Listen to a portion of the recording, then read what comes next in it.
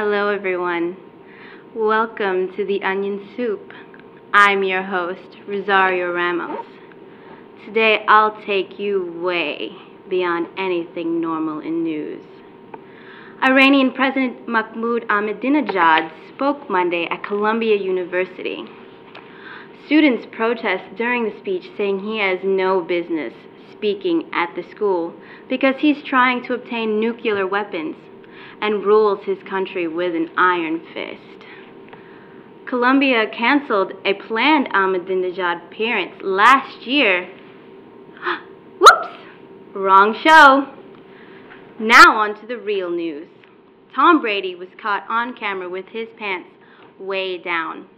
FBI recently uncovered hidden cameras in several NFL shower locker rooms.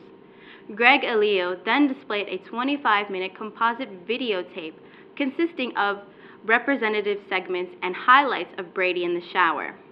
Patriots head coach Bill Belichick denied any connection but failed to turn over officials his personal private porno collection.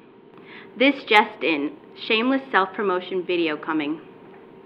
Watch my dance instructional video. I look amazing.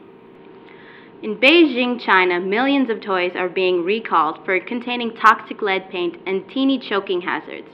High-level Chinese officials announced Tuesday that millions of these playthings are being rounded up and immediately put to death. In the past six weeks, Mattel recalled more than 2 million toys, prompting the Chinese government to send People's Liberation Army forces to mercilessly slaughter any found toys. Trademark toys from Thomas the Tank Engine to Curious George and Big Bird have been reportedly kicked, hanged, and pounded with nails before being shot to death. The past three days alone, Barbie dolls were taken from their dream homes in a series of raids separating them from their Kens.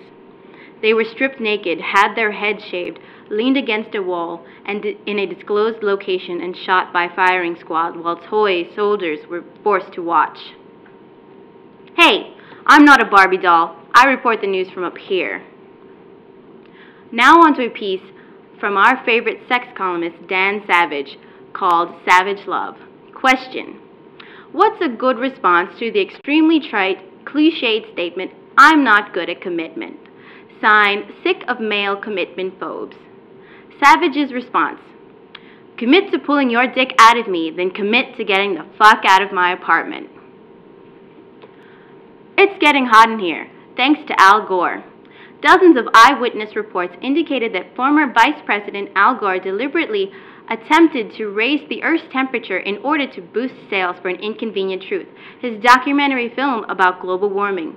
Environmental groups have called for the federal government to step in and put a stop to Gore's actions, but officials say they, don't, they do not have the power to stop him.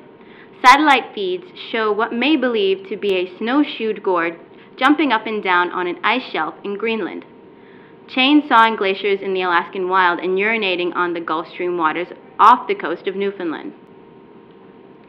Today's newscast was brought to you by the letters AC. Because my roommates need to stop turning it down so low, it's like a fucking igloo in my apartment.